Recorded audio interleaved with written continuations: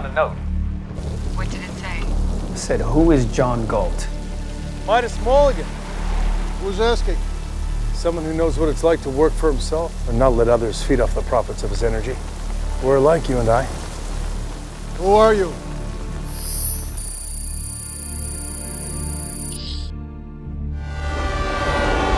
The National Alliance of Railroads proposes a rule. The anti-doggy dog rule. We say its purpose is to prevent destructive competition between railroads. But in fact, we're squeezing Dan Conway out of Colorado.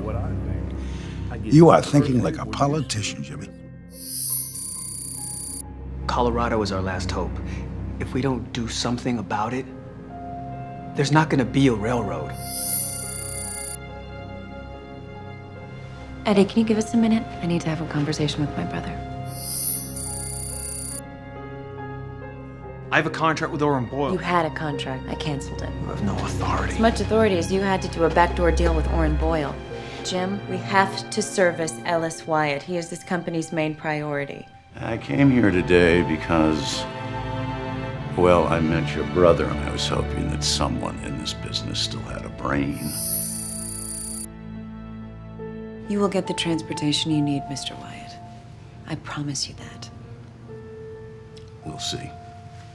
I've ordered the replacement rails for the Rio Norte line from Rearden Steel. What on earth do you know about Rearden Metal? It is tougher, cheaper, lighter than steel, and will outlast any hunk of metal in existence.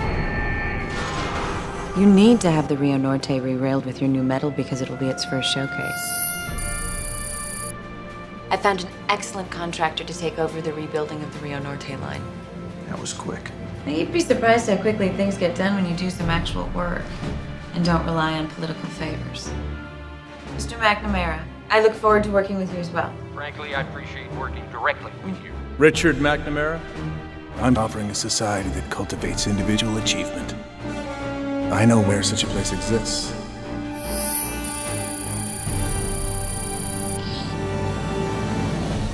Why are so many great men disappearing? Today, the Rio Norte line completed 211 miles of replaced track using the new Rearden steel. I underestimated you. What you need is to replace that bridge. Not a chance. I have to be ready in six months. What if I told you I could have it made in three months and that it would last for centuries? Let me check my budget. If we're gonna bring Rearden down, we should do it from the inside. Under my guidance, of course. The National Council of Metal Industries has completed a report that draws public opinion against Rearden. Taggart Transcontinental stocks have plummeted because the State Science Institute has denounced Rearden Metal. Your family's railroad is in real trouble. You and the board are going to transfer the Rio Norte line over to me. Our stock will go back up. Once we see how the Rearden metal rails perform, I will transfer the line back over to Taggart Transcontinental and return to my job. And what are you going to call this new line of yours, Dagny? Because you're not dragging the family name through this. The John Galt line. If I ever meant anything to you, loan me the money that I need. I can't. Dagny, Ken Danagger, I have some good news. I would like to commission from you a Rearden metal bridge for Wyatt Junction. Excellent. Aren't you curious as to how I'm able to finance this bridge? Okay, I'll bite. Ellis Wyatt, Ted Nielsen, Lawrence Hammond, Kenneth Danagger. I'm not at 100% bond sold yet. There, I just made up the difference. You're a good man, Hank Rearden. If the John Galt line succeeds, it's gonna make Wyatt unstoppable. Now, what can be done? As the new coordinator of the Bureau of Economic Planning and National Resources, I have issued a set of directives. I'll sign away my other companies, but they are not getting my metal. Dagny, this is a delegate from the Union of Locomotive Engineers. We're not going to allow you to run that train on the John Galt line. Put that in writing. That you want to stop your men from working and earning a wage. You don't understand. Oh, no, no, no, no. You want me to provide the jobs, and you want to make it impossible for me to have any jobs to provide.